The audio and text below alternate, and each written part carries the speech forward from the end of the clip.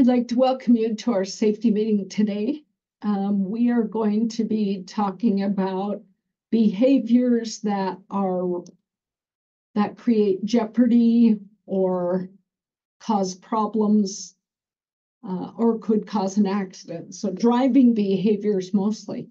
So let's just um, just our little disclaimer here. This instruction is prepared for beach transportation. Uh, we are a school bus company. This is part of the annual training time that drivers need to stay certified as bus drivers. So um, this is made for beach transportation. This is our January safety meeting. So let me share my screen with you.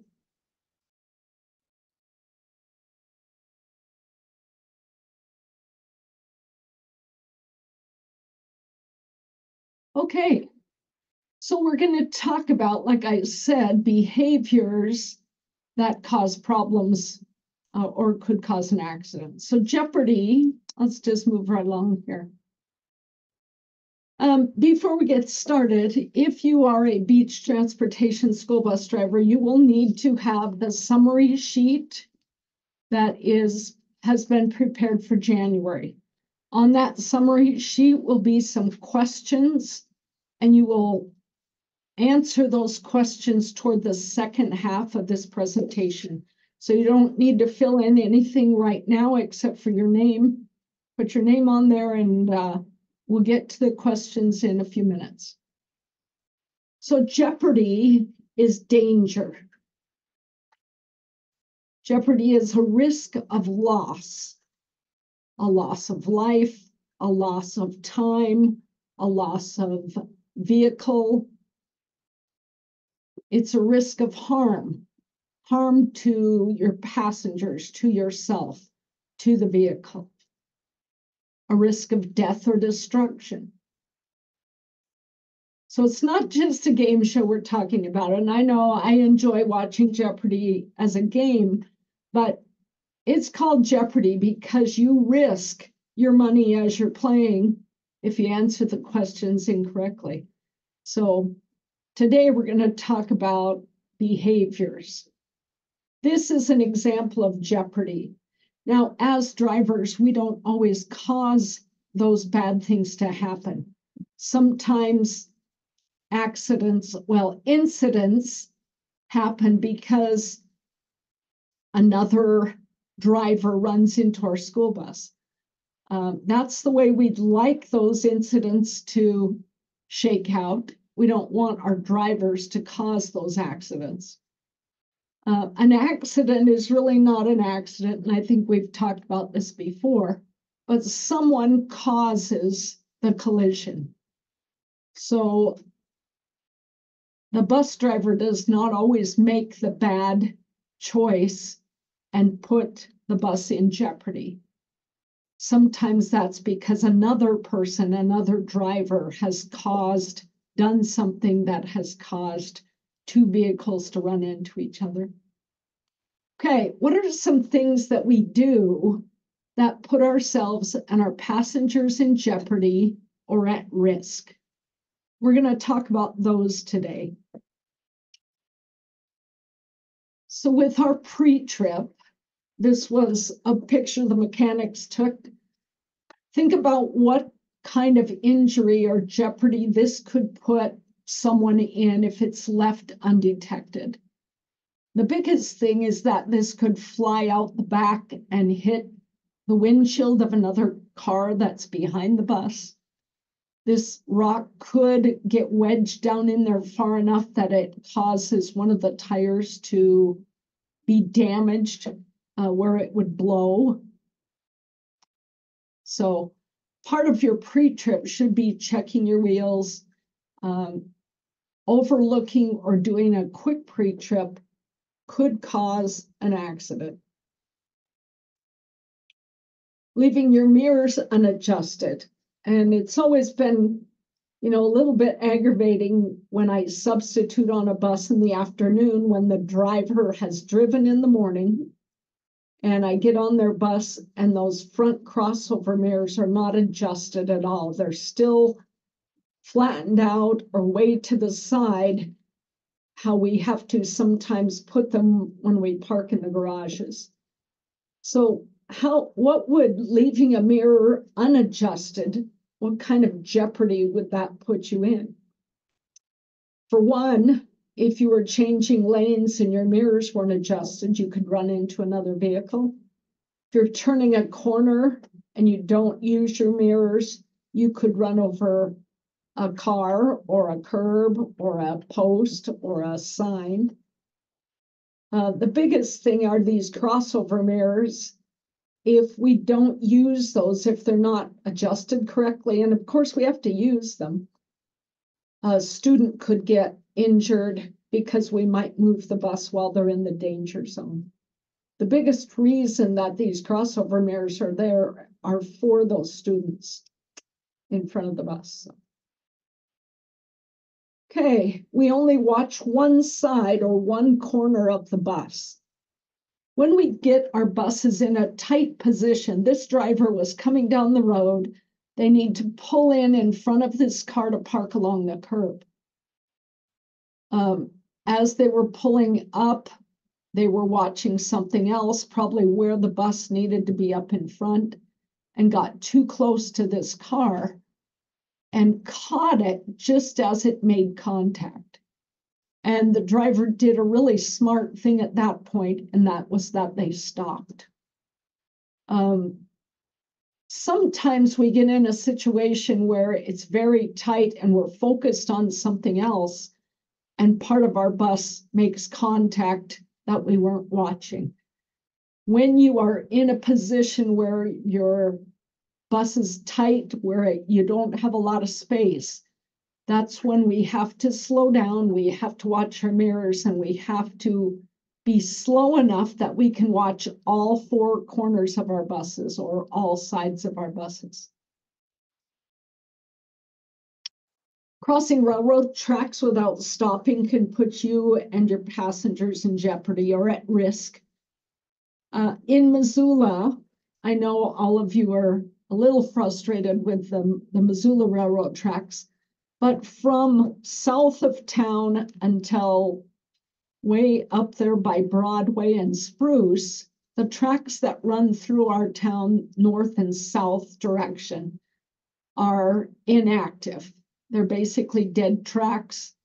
Um, they've been paved over in places where a train could not move on those tracks.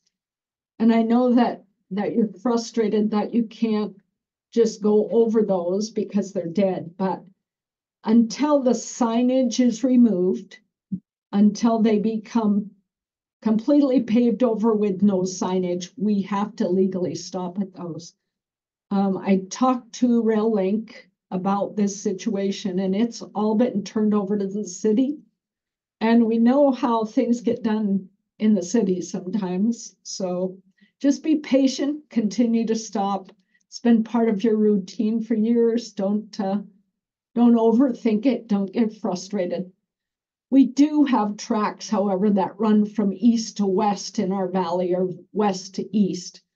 And those are very busy tracks. They're uh, fast moving trains in part of those um, out at the Bonner Clinton area, uh, DeSmet area going up the rattlesnake, coming down the rattlesnake on the west side. Please be aware, please stop. Don't put yourself in jeopardy by being complacent with that. Okay, rushing through yellow lights. I don't know how many of you noticed, but um, people don't necessarily stop very well at yellow lights. They go through. Two or three cars will go through a light sometimes after it's turned completely red we put ourselves out into a position where we are pushing those yellow lights, it puts us out into an intersection where those who have the green light are starting to move. And at that point, it becomes your fault if there's um, a collision. So, how do we decide when we stop at a yellow light? If your nose, the nose of your bus, is out in the intersection or at the edge of the intersection when that light turns yellow, you can keep going. You shouldn't have to accelerate. You should just keep going and you'll get through that intersection. However, if your bus is a bus length or two bus lengths from that light when it turns yellow, that doesn't mean you push the accelerator. It means you touch the brake and slow down and stop for that yellow light because it's going to turn green. I mean, it's going to turn red. Sorry. I was thinking of stale green lights. Another thing to watch is the countdown on the crosswalks. And some of those are not accurate, and you know which one's on your bus route. But we've always said a stale green light, one that's been green for a long period of time, is a signal to you that that light's going to change soon. So watch those stale green lights and then slow down. Don't just push the accelerator when you see a yellow light. Turning into the wrong lane, choosing lanes when we drive is important. And as we turn a corner, we should be in the farthest outside lane to give us the most turning radius. Um, there are exceptions, I know that, but most of the time you should be in the outside turning lane.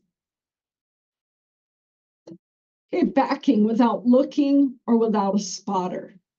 If your bus is parked in a garage, as you approach that bus, you should start your pre-trip you should be looking at which buses are close to you that might cause a problem. Am I straight with the garage? This bus was not. It was parked between two doors and backed right up into the beam. Um, you've got to know what's around your bus, especially when you're backing. What's behind you, what's on the sides of you. And we should never back without a spotter. Think about where we've asked you never to back never to back up your bus. And that would be at the school. Because those school zones are so busy with walkers and other vehicles and bikes, kids playing, we don't want to be pulling into a school zone and then backing up where we have limited vision. So no backing in school zones. And if you do need to back up, um, know what's behind you. Uh, do a have a spotter if you can. Minibuses, especially, use your attendants and let them know what you're looking at. Don't just assume they know. Okay, pulling out in front of traffic. We have timed it that when a big bus is coming from a side street pulling onto a main street, it takes four full seconds to get your turn and get straight on that main street. So four seconds, if you're looking at your following distance, which you should be doing all the time, is, is that distance. Oftentimes it's three quarters of a block to a block away before you should turn out in front of a, another vehicle. So watch that so you don't, this, this driver pulled across Reserve Street, four lanes of traffic. Um, they weren't turning onto Reserve, they were cutting across Reserve Street. We never, never should be crossing four lanes of traffic or turning onto four lanes of traffic, turning left is, is just not something we want to do because this is kind of the result of the driver's choice that put that bus in jeopardy. Uh, no, we don't have buses that look like this, although some of the general public tend to think we do. Um, we can't drive fast with our buses. We've got to obey the speed limit. Uh, oftentimes, a bus, because it's loud, um, kind of heavy, they can misjudge the speed. And having your lights on makes makes it look like you're driving faster than you are. But please don't drive over the speed limit. We've had many discussions about speeding. You cannot react to what's going on around you when you're going fast. You've got to know what's around you. You've got to keep a space around you and not speed.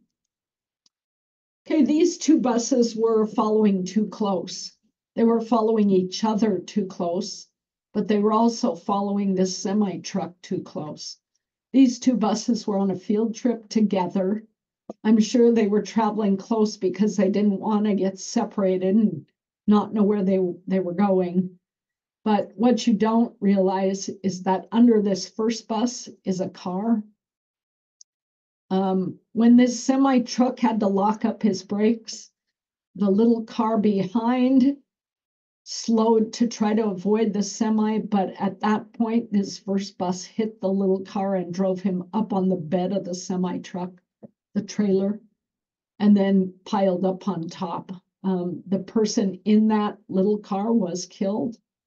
Um, there were injuries, multiple injuries on the buses um, because of following distance.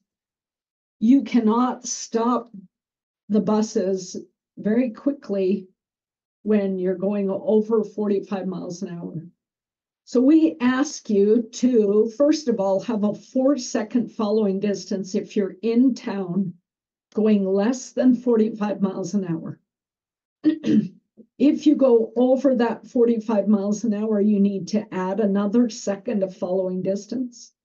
If it's dark, you would add another fo second following distance. If it's icy or inclement weather, add another second.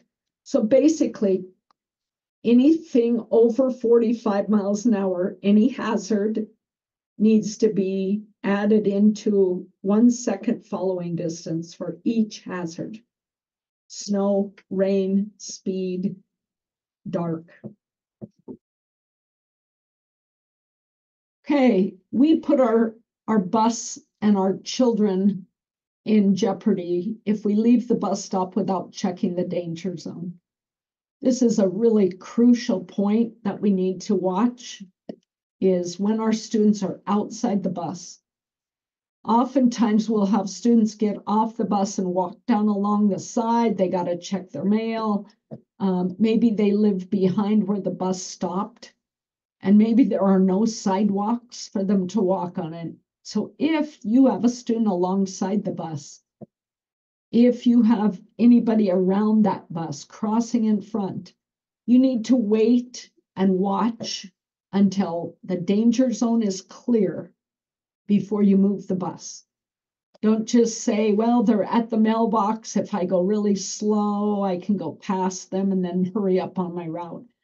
Hurrying and being on time at that point is not the most important thing. It's protecting that danger zone, protecting the kids that are in that danger zone. Okay, leaving the bus without checking for sleeping children can put them at, in jeopardy. They can put your job in jeopardy. Um, this little guy was left on a school bus. Um, the driver lost his job over this, but I want you to think of the repercussions of this little child being left. Now, if we've got below zero temperatures coming in the next week, maybe toward the end of this week, if you were to leave this little guy on a school bus, how long do you think he would physically last if he was buckled in and couldn't get out? Um, maybe with a coat on, but he doesn't look like he's a real big guy. Um, hypothermia probably on a bus could set in within a couple hours. Um, and hypothermia could cause death if he wasn't found soon enough. If it was hot out and he was in that bus, you know how hot it is when you sometimes you get in, that could cause uh, death. Uh, plus the traumatic experience these kids have when they're locked in a place where they can't get out, they don't know where they are. Picture yourself maybe in the mall at the end of the evening, the mall's closing down, you you go in to use the restroom and you get in the wrong room. And let's say it's a closet, you get locked in, and this is all hypothetical, of course. But put yourself in a position where you're unable to free yourself from your position you don't know where you are, it's dark, uh, nobody can help you, becomes fairly um, anxious to our ourselves. And being trapped in a bus or being left on a bus can be very traumatizing for these little people. Okay, the driver of this job um, that that drove this little boy did lose his job. Uh, so that's a, a big possibility. Okay, what are some of the reasons that we make these bad decisions as we're driving a, a big bus or a little bus? Uh, just a few of those reasons are complacency. You know, we've done this over and over. It's it, we could do it in our sleep. Uh, we know the route, we know the hazards, but those hazards don't always have to be fixed hazards. Sometimes they're moving hazards, whether it's a car or a deer or a person, a bike. And if we're not watching, if we're not attentive, that can put us in jeopardy of, of an accident or a, an incident where there's injury. Sometimes we become distracted. There's lots of things that can distract us when we're driving. Maybe your phone goes off in your pocket. You, you wonder who it is. You feel the vibration, you hear the ringing. So it kind of distracts you. The kids on your bus can become a distraction. Um, them making noises, yelling, fighting, throwing things, whatever. On a minibus, your attendant can be a distraction if they're talking to you, asking you questions. A lot of ways we can become distracted on as school bus drivers. Okay, we're rushing, we're in a hurry. We left the, the office a little late. Uh, maybe we at the school, they loaded the students late. Maybe you got behind slow traffic or in a construction zone and then you're trying to make up that time. Rushing is never a good way to drive. Rushing focuses you on how you can hurry, how you can um, cut corners to, to make up time, go a little faster, um, take a different route, but you're focused on the rushing part, not the safety part overconfident. Um, you've driven a long time. You can do things a little easier by maybe not setting the parking brake at a stop. You can uh, do a lot of things that are cutting corners when you're overconfident. It, you're invincible. Tracy's safety messages don't pertain to me. I I speed a little bit, but you know it. I'm really careful when I do it, or I don't I don't turn on the overhead lights at that one stop because you know it's just easier to kind of pull off to the side of the road. It's quicker. Um, eventually, those things catch up with you, and I I don't want you to have to be involved in in something that is catastrophic because you didn't take it seriously.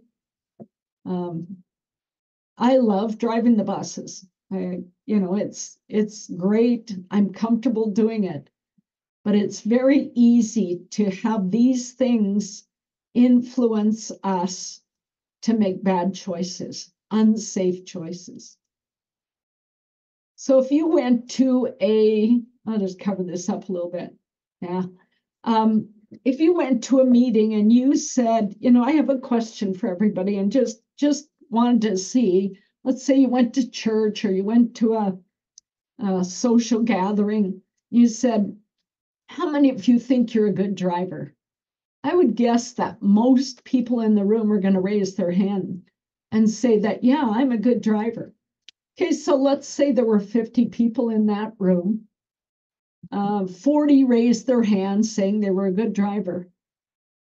How many of those really were a good driver if you were driving in their neighborhood? How many would you rank as a good driver? Uh, maybe 10, 5. Um, everybody thinks they're a good driver, but it takes work to be a good driver. Um, a constant work, constant attention. so here's some characteristics of a good driver, and this this would be a top-notch, almost perfect driver. And I know most of us aren't perfect. None of us are perfect, but a good driver is cautious. They don't take chances. They don't pull out in front of people. They don't run the yellow lights. They are slow and careful and watchful. A good driver is one who does not cause accidents, but is skillful enough to outguess and avoid potential accidents. So there's two parts there. Your bad driving behavior does not cause accidents. You have good driving behavior, but you're also watching out for that other guy, defensive driving. Okay, you make good decisions opting for safety. And sometimes I'll get up to an intersection and I'll think, "Oh, I should have gone." But if you're if you're thinking I should have gone, you probably made the better decision to not go um, and and to be safe. Should I pull into that street or should I go a longer way where it's safer? That's what we've done coming out of Miller Creek. Um, not wanting our buses to be stopped on the railroad tracks, we've rerouted you over on on uh, behind Walmart there. Uh, it takes about three minutes longer, but it's a safer decision, and that's why that decision was made. Is opting for the safest route, not the quickest route. Okay, they're aware, they recognize, they act when things happen. They don't have to react because they've seen the potential and they're ready. So here's your test question. So if you pull out your summary sheet, and we'll go through these questions real quick. Okay, your first question is on lanes. You're traveling north on Reserve Street. You should be in this lane when you're turning west onto Mullen Road. There's two turn lanes there. Which lane should you be in? The inside lane, which is the left lane, or the outside lane, which is the right lane? Okay, next one. Railroad. You should open these two things at a railroad crossing. That's pretty easy. Circle two, please. Following distance. Question is, you should be able to do to see this, you should be able to see this on the vehicle ahead of you at a stoplight. Sorry for the bad question there. You should be able to see this on the vehicle ahead of you at a stoplight. Okay, backing.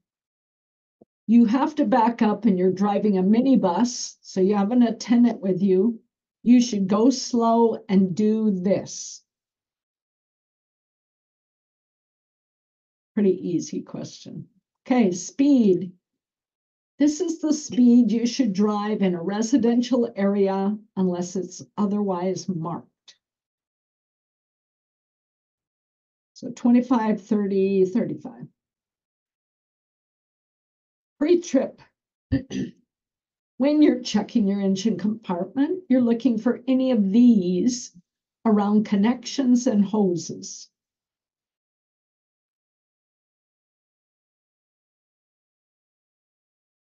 Pulling out. So pulling out. When turning onto a main street from a side street, the traffic on the main street should not have to do this or stop for you as you pull out. So they should not have to stop or do this. Lights. This traffic light warns you to slow down and prepare to stop. Post trip, the flag in your back window should stay up or out of the window until you get to this place. And it shouldn't be left down in the back window the entire trip. It should go up when you get on the bus and down at this place. Danger zone. After dropping off students at their bus stop, it's what you do before you move the bus. And this is not check your phone. After dropping off students at their stop, it's what you do before you move the bus. Space management. you should go slow and watch all of these with your mirrors when driving in a tight area.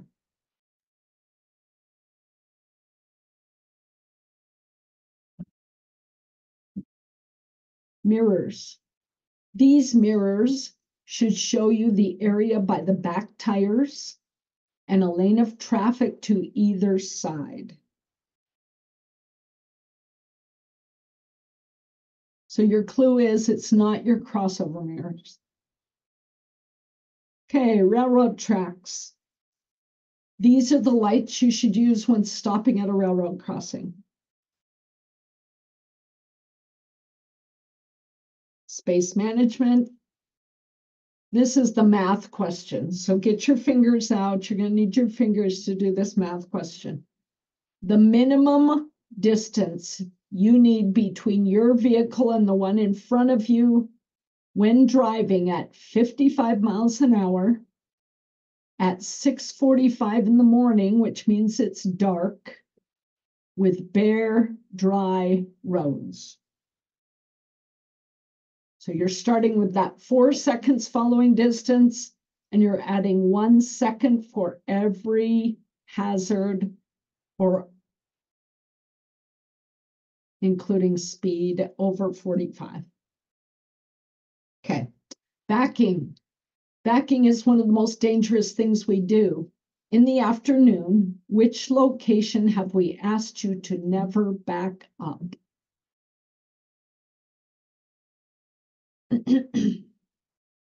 Lights. If you are two bus lengths away from the traffic light when it turns yellow, you should do this.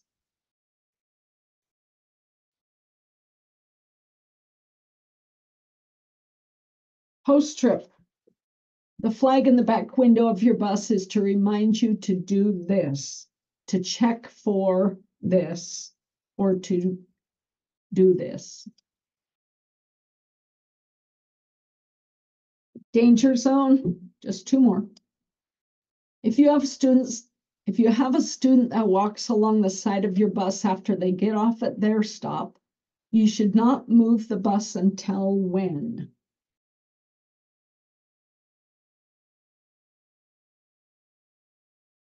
And oh, two more, sorry. When your bus is parked between two buses and you're pulling out to the right, the tail swing will be on this side. So which side is the tail swing?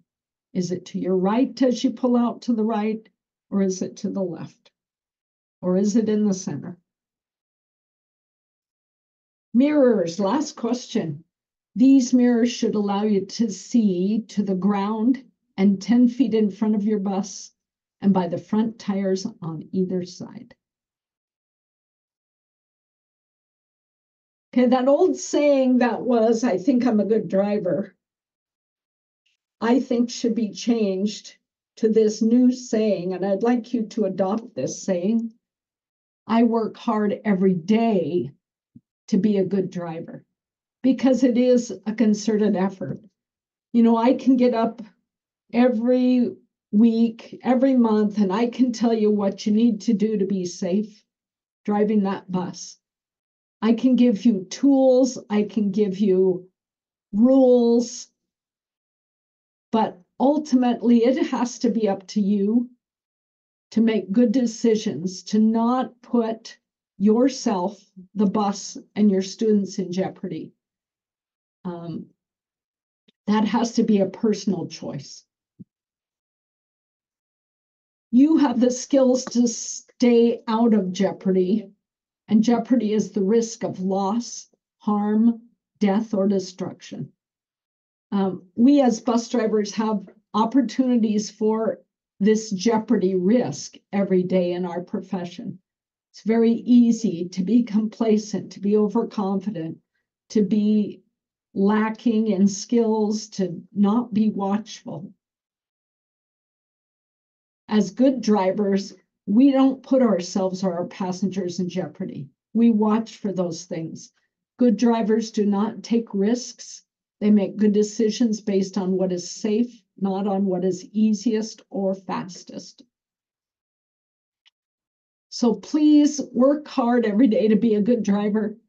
And you know, I I hate to brag about you as a driver, you personally, but um, I think I feel that we have the most conscientious, aware, safe drivers um, in the state of Montana.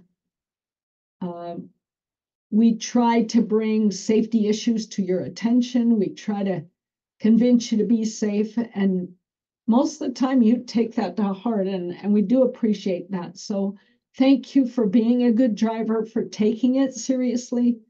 Um, and we will see you next month in February. Thanks for being here today. And uh, February is coming up. We'll see you soon. Bye bye.